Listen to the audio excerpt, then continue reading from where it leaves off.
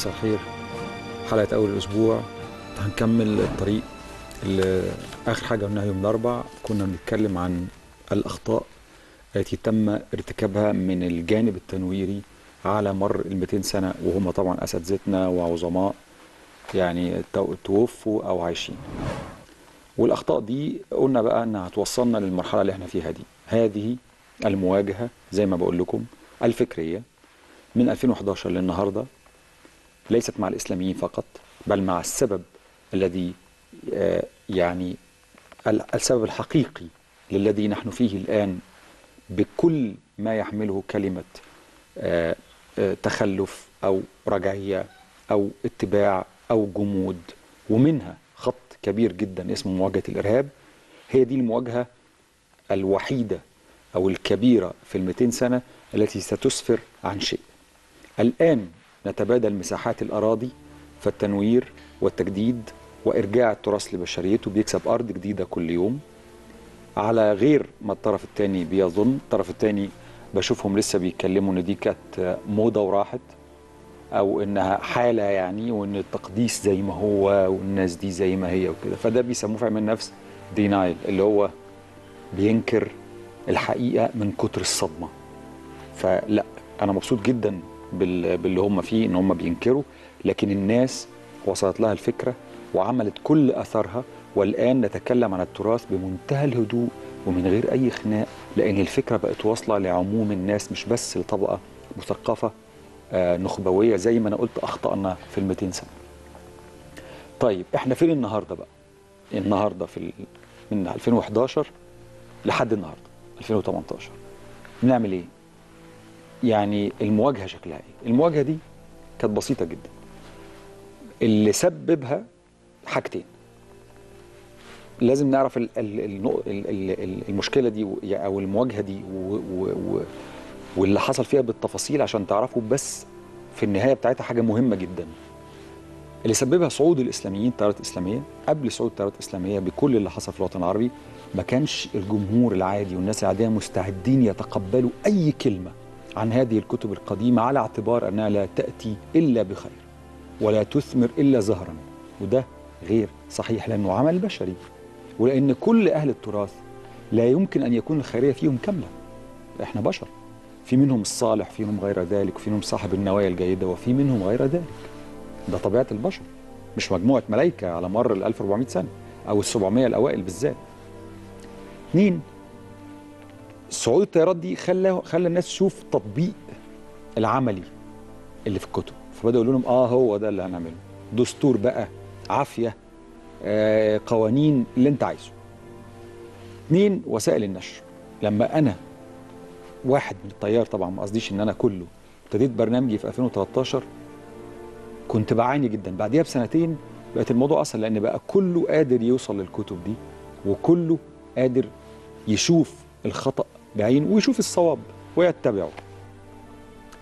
المواجهة بقى وصلت لمرحلة مهمة جدا اللي هي فكرة الأيام الأزمة اللي أنتم فاكرينها من ثلاث سنين وبتاع. اسلام بيهدم وإسلام بيهدم والهدم ده أصله يقربنا من التيارات الإرهابية تاني. تخيلوا تخيلوا اللي بيقول للناس إن القتل الذي في الكتب ليس من الله في شيء بقى هو شبيه بالتيارات الإرهابية.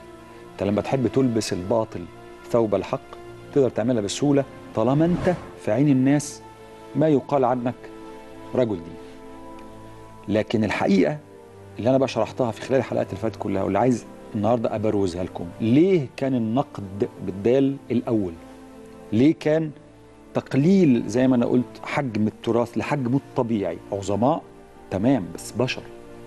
الرسول نفسه في القرآن ربنا بيقول على لسانه إنما أنا بشر مثلكم. لكن عنده بقى حاجة أفضلية عظيمة اسمها يوحى إلي. لكن هؤلاء لا يوحى إلي فهم بشر مثلنا فقط. فقط. مفيش أي زيادة. وأنا قلت لكم آخر حلقة في الأسبوع اللي فات يزيد في الخلق ما يشاء ربنا يدي العقل اللي هو عايزه في أي جيل في أي عصر بلا قرن بلا قرن. ربنا يعمل اللي هو عايزه في الخلق. إنما قرون معينة جالها عقول حتى الواقع ينافي ده وأنا اديتكم أمثلة. نرجع بقى للموضوع. الضغط المستمر ده كان ليه؟ على الأقل أنا بتكلم عن نفسي بس. وطبعا التيار العظيم بتاعنا اللي كل آه، ناسه بتعمل أقصى مجهود عندها. ليه نقد التراث بالذات؟ عشان تقليله زي ما أنا قلت تقليل حجمه فيبقى في مساحة تانية لبنى أفكار وعشان حاجة مهمة تانية جدا اسمها هدم الجدار. الجدار غير التراث. خلي بالكم بس عشان ما يقعدوش يقولوا الإسلام بيهدم. لو افترضنا ببساطة إن ده النص الأصلي القرآن يعني. بيشاع نور من كل حتة تقدر تفهمه من كل اتجاه من كل زاوية مش بتاع ناس معينة ولا بتاع جيل معين. لما تيجي انت باللي أنا شرحته لكم بقى كله تقول في القرن الثالث إن أنا هنا نهايتي وهم دول اللي ورا هنا العظماء. اللي جاي يقلد بس. إحنا هنا بقى 1439 فالعظماء دول لما أنت قدست قداسة لا ربنا ولا القرآن ولا الإسلام ولا سيدنا محمد نعرف عنه نعرف إن الكلام ده في حاجة اسمها قداسة للبشر. فهذا بقى أصبح جدار عالي جدا جدا جدا جدا إن هو أصلا حجب عنك النور ده. ما بقتش تقدر تروح مباشرة إن أنت هنا في 1400 النهارده يعني 2018 2018 ما تقدرش تروح مباشرة للنص وتقول له هذا بيان للناس زي اللوحة اللي قلناها في أول يوم. النص ده ملكي دارس باحث مفكر من المؤسسه الدينية غيرها في مصر في غيرها. تقول لهم مجموعة نخبة مجمع يعني ها إحنا هنروح للنص على طول ونقول لل- لل- للثلاث قرون الأولى في هذه المسألة لأنهم جانبهم الصواب رحمهم الله. أهو. م? بس هنروح بقى للنص إحنا ونقعد نستقي منه من النور مباشرة لأنه النص ده لا ينفد.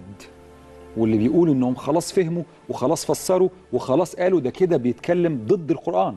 لأن القرآن معانيه لا تنفد. متجددة. مين بقى اللي يفهمها؟ إحنا. بعيد عن كل فهم القرون الثلاثه الأولى. أو لو عندهم حاجة كويسة و- وفيه ناخدها. أهلا وسهلا. فأنت ما بقتش قادر تعمل ده من غير بقى اله- النقد اللي أنا تبنيتها أو اللي التيار ده كله تبناها في الست سنين اللي فاتوا. ليه؟ لأن مش ممكن الجدار عالي جدا. حاجب الشمس حاجب النور بتاعت القرآن. حاجب حتى فهمك. فأنت ما ينفعش تروح غير من التيوب ده من الماسورة دي من المعبر ده. من خلال فهمهم تفهم. ده المسموح لك. فلما التيار النقدي ده النقد المنهجي الكويس ها عمل بقى الأثر العظيم ده اللي هو اسمه حاجة أنا بسميها في العلم الأكاديمي بمناسبة إني هقول لكم حاجة دلوقتي حاجة اسمها البناء السلبي. الكلمتين ممكن ما يكونوش لاقيين على بعض. إزاي بناء وإزاي سلبي؟ المفروض بناء إيجابي. لا قبل البناء الإيجابي إن إحنا نقدم أفكار زي ما قلت لكم يرجع لحجمه فيبقى فيه مساحة في الأرض. في حاجة اسمها البناء السلبي إنه أهدم الفكرة الخاطئة فقط. تاني الخاطئة فقط في التراث. وإحنا معترفين إن كل يؤخذ منه ويرد عليه وإنه من اجتهد وأخطأ فله أجران ولا أجر. يبقى في خطأ. ده طبيعة البشر كل ابن آدم خطاء خطأ في كل حاجة أخلاقه وعقله وفكره كتابته حفظه خطاء ده الرسول اللي قال كده. يبقى إحنا لما الجدار ده بس مش بقى عالي قوي شاهق مانع النور رجعناه. الطول الطبيعي بتاعه. جدار لطيف من مجموعة علماء عملوا بناء فكري ما في الفقه يسموه الأصول أصول الفقه يعني وفي الح- الحديث اسمه المصطلح الحديث وفي التفسير اسمه أصول التفسير. تمام. لكن ما يعلاش كده لازم يرجع بقى إيه؟ نشيل الأفكار السلبية. ده البناء السلبي اللي بحكي عنه. البناء السلبي ده حاجة مهمة جدا ودور مهم جدا. أنا شايف إنه كان من أهم الحاجات وأنا مصر إنه كان بطريقته وبشكله وبألفاظه وبقوته وبقسوته مهم جدا في الست سنين اللي فاتوا أو في الخمس سنين على الأقل اللي على الشاشة. بالنسبة لي لأن في قبلها يعني كتابات وحاجات كتيرة بالنسبة لي. وطبعا التيار كله كلهم أساتذة عظماء. البناء السلبي ده من أفضل الأشياء. يعني إيه بقى؟ ندي مثل عليه واحد. فكرة سلبية فكرة سيئة خاطئة. نحن نظن لأن هي الحكاية كلها ظن. نحن إحنا قلنا إنه ليست هناك حقائق بل تأويلات. حتى إحنا وهم. هو بيظن إن ده حفظه التمام اللي خلاه يقول الحديث ده صحيح أو فهمه. هو بيظن إن السند ده السند لا يكذب. هو بيظن إن فهمه في الفقه فهم تمام وهو عمل اللي عليه فعلا. وإلا يعني إيه اجتهد وأصاب أو اجتهد وأخطأ. لكن إحنا كمان علينا نجتهد. علينا ما ناخدش الدين زي ما أنا بقول ميراث. ميراث بكل اللي فيه حتى بكلام البشر. فاحنا بقى نعمل إيه؟ ده قبل ما نقدم افكار اللي إحنا هنقدمها بقى دلوقتي. ده وقتها. بس وقتها إمتى؟ بعد خمس سنين نقد وإرجاعه لطبيعته. وتقليل حجم الجدار وطوله وعرضه لأنه حجب النور. وإعطاء الحرية لمفكرين النهارده إن هم يروحوا للنص مباشرة. وإعطاء الحرية حتى للناس إن هو يثق في عقله ويختار بعقله بل يصدق الجديد ودي اسمها اللي أنا بقول عليها في الحلقات الأولى المسؤولية الفردية في الدين? يعني إيه البناء السلبي بقى عشان نحسم المسألة؟ وده اللي أنا بقى يعني حقيقي سعيد إني عملته في السنين اللي فاتت. مش يقول لك إسلام بيهدم. لا إن أنت فكرة معينة سيئة جدا تسيء لله تسيء للرسول تسيء وأنتوا عارفين. على الأقل هدي مثل بسيط مكرر لكنه أقرب حاجة لأذهان الناس. لسه هندخل في التقيل بقى. الزواج النبي من السيدة عائشة. هم يقولوا ده ظنهم وأنا موافق جدا. مش أنا بقول لك دايما من وجهة نظري.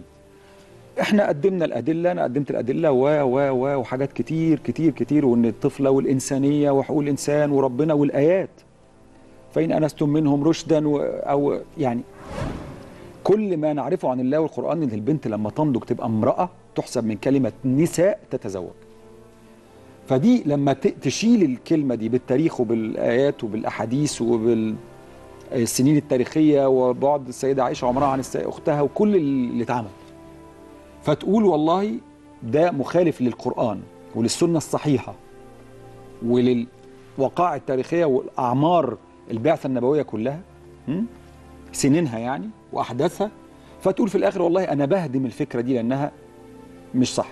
ده بناء مش هدم لأنه ده اسمه البناء السلبي.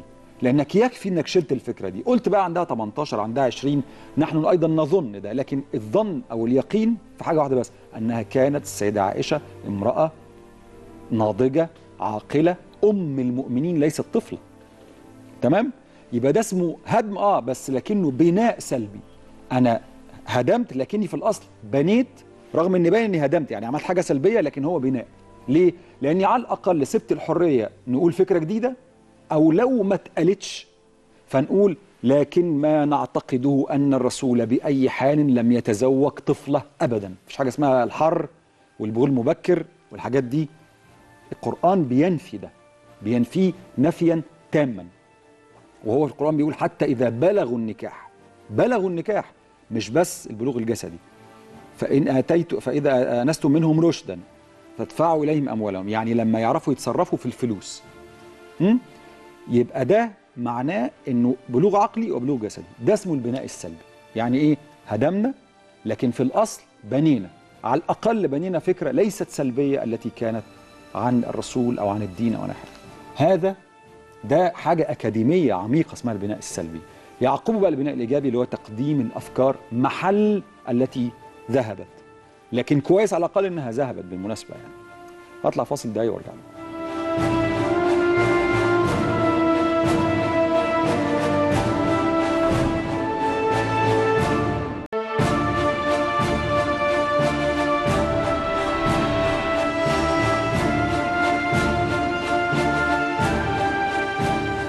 رجعنا لكم. نكمل. فده كان مقصود وكان آه، بنية صافية وكان لخير التجديد في هذا الدين ولوضع الأمور في أحجامها الطبيعية بشرا كانوا أو أفكارا.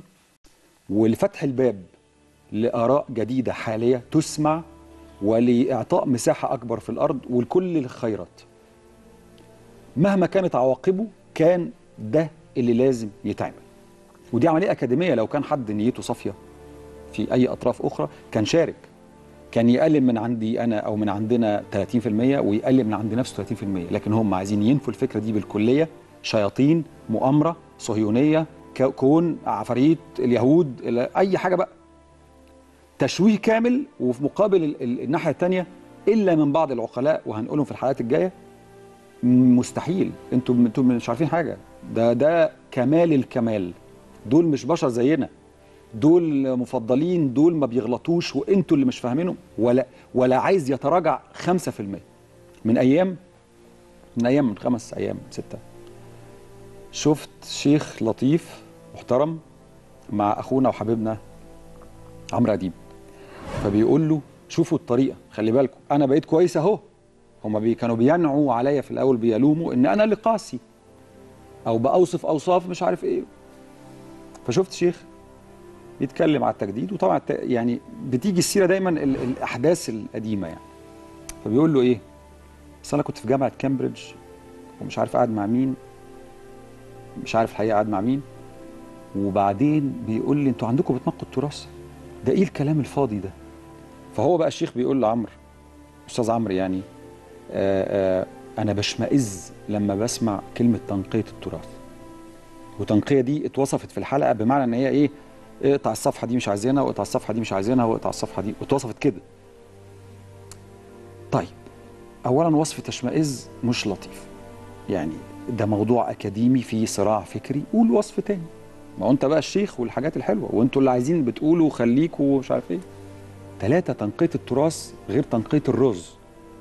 الرز اللي بيتنقى كده. لكن تنقية التراث ده موضوع اسمه الدراسات اللي أنا بطالب بيه بقالي سنين اسمه دراسات إسلامية حديثة. يعني تجيبي كتاب وتجيب النقيض بتاعه المؤلف حديثا وتقول هذا كان صوابا رحمه الله وهذا جنبه الصواب وهذا خطأ بين يبعد عن الدين وهذا وهذا وهذا. لسه ما اتعملش أنا مش هممني لكن هيتعمل يوما ما. فحكاية تنقيط راس ان أنت بتخيل للناس إن صحاب الفكرة دول بيقولوا أو بقالهم ست سنين بيقولوا أو أنا اقطع الصفحة دي مش عايزينها؟ لا حقوق الملكية الفكرية بتخلي التراث زي ما هو. لكن نقول إننا يجب أن نجدد ونقول أن هناك فيه أخطأ. خطأ خطأ أصيل مش عارض لأنهم بشر. والرسول اللي قال كل ابن آدم خطأ. مش خط مش خاطئ خطاء يعني صيغة مبالغة. م? فبلاش ال وأنا برضو في الحلقات الجاية هيبقى في حاجة اسمها المعضلات كده. هجيب السيرة دي كتير بتاعت الجماعة اللي بيقولوا إن إيه التنقية دي؟ وبعدين بمناسبة كامبريدج يعني. طب ما تساله كده يا عم الشيخ هو مارتن لوثر. مارتن لوثر القس الألماني المعروف اللي عمل المذهب البروتستانتي بالنسبة لمارتن لوثر يا عم الشيخ بمناسبة الراجل بتاع كامبريدج هو لما جه عمل اللائحة بتاعت ال 95 لو أنت عارفها مش ده كان تنقية تراث برضو؟ نقد شديد لما قيل في القرون الأولى والوسطى فعمل لائحة مارتن لوثر علقها على الباب. فيها 95 نقطة خاطئة يجب أن تعدل. خاطئة في الماضي يا عم الشيخ. بتاع كامبريدج مش عارف كده ولا ولا ده برضو مش تنقية تراث؟ كان الشيخ أمين الخولي لو أنت تعرفه يا عم الشيخ الشيخ أمين الخولي ده تنويري عظيم. كان بيقول إن بداية التجديد هي قتل القديم بحثا وفهما ودراسة وده اللي حصل. الأثر حصل أنتوا بقى تنكروا ما تنكروش عيشوا مع إنكاركم الواقع والدول عايزة ده. دول واصحاب نفوذ ورؤساء سلطة عايزين التجديد. بطؤت الحركة أو آه، تسارعت ده لا يعني غير إن هم عايزين ده. ودول كانت عاتية ها في مسألة الرجعية. ليست مصر أقصد دول أخرى. فبقت دول عايزاها يا عم الشيخ فحاول تلحق نفسك. ما تشمئزش يعني عشان الاشمئزاز المهم تعالوا بقى أوريكم أثر ده كله في فيديو. مش أثره في حاجة عشان ما تستعجلوش. يعني لما تشوف فيديو ما تستعجلوش على ال- النتيجة اللي أنا عايزها من الفيديو ده. هنشوف فيديو بقاله 20 يوم بس مش كتير.